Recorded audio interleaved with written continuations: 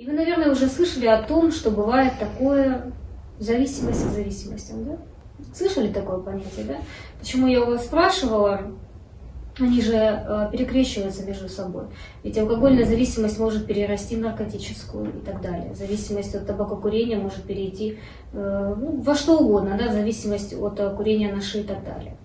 Вот об этом хотела с вами сегодня поговорить, о зависимости к зависимости.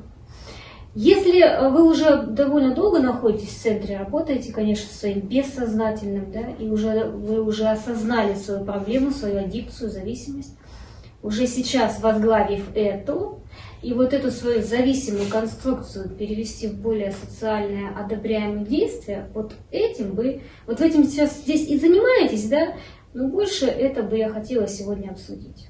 Это может быть хобби, я знаю, что вы рисуете здесь, да, у вас такая красота, вышиваете, готовите.